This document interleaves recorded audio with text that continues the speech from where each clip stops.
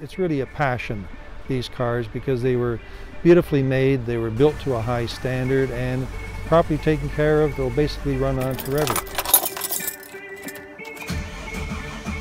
Cars were built to a standard, then you put a price tag on them later.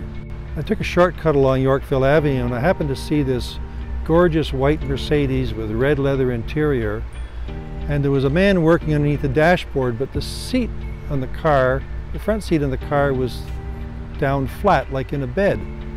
So I went inside the dealership and I asked the manager, his name was Carl, I said, is the seat broken? And he kind of looked at me with some disdain and said, all Mercedes-Benz seats go back into a bed. My summer car is a 1995 S500, which I purchased uh, in California, in uh, Palm Desert, California. It only had 35,000 miles on it. It's a W140. It's the, the last of the very, very expensive, built to a standard, who cares what cost is type of automobile. It was very advanced for its time. It, it had a, a CAN bus, which is a computerized electronic system that communicated various aspects of the car to the driver. Um, today they're considered to be classics. Um, the leather, the wood inside, it's like being in your easy chair and driving a wonderful car. It's powerful, it's quick in acceleration. The great thing about Mercedes-Benz is that no matter which car you get into, the controls are always in the same place. The headlight switch is on the left. You know where the, the dimmer switch is. Uh, the heating controls are always in the same place. So it's easy to switch from one car to another.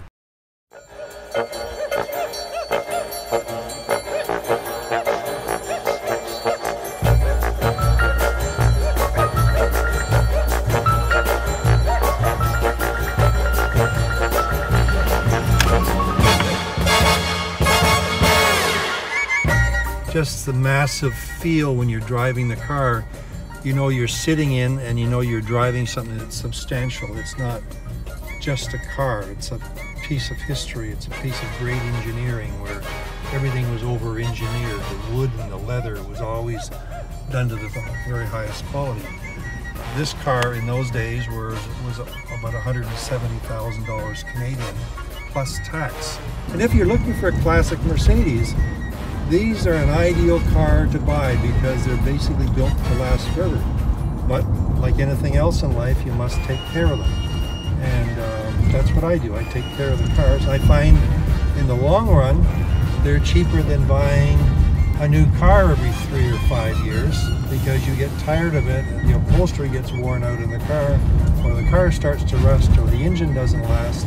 These cars you can easily put a half a million kilometers on. There's a few that are running around with more than a million kilometers on them. They're just over-engineered, built to last. And when uh, Gottlieb Daimler had the slogan in, in the early 1900s that uh, it was the best or nothing, uh, that's basically what it meant. If he couldn't build the best, then there was no sense building the car at all.